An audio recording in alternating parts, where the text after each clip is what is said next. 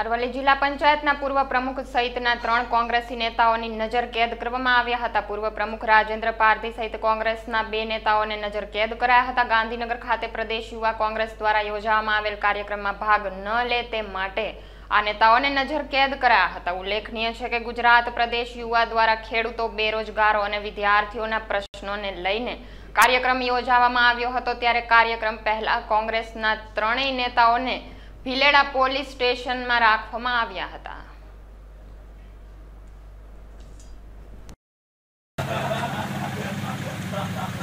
આજ રોજ ગુજરાત પ્રદેશ યુવક કોંગ્રેસ દ્વારા બેરોજગાર યુવાનો અને વિદ્યાર્થીઓના અને ખેડૂતોના પ્રાણ પ્રશ્નને વાચા આપવા માટે આજે ગાંધીનગર ખાતે યુવક કોંગ્રેસ દ્વારા કાર્યક્રમ રાખવામાં આવ્યો હતો.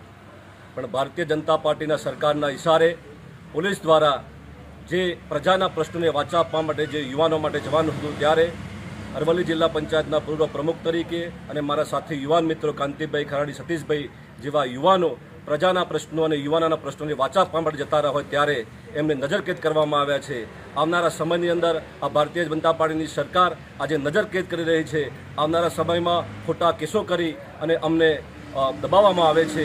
જો આ જ રીતે પ્રજાના પ્રશ્નોને વાચા આપવા માટે જો અમને દબાવવામાં આવશે, તો આવનારા સમયમાં અમે બિરસા મુંડા અને શહીદ ભગતસિંહનો માર્ગ અપનાવતા પણ ખચકાઈશું નહીં, જેની શંકાને કોઈ સ્થાન નથી.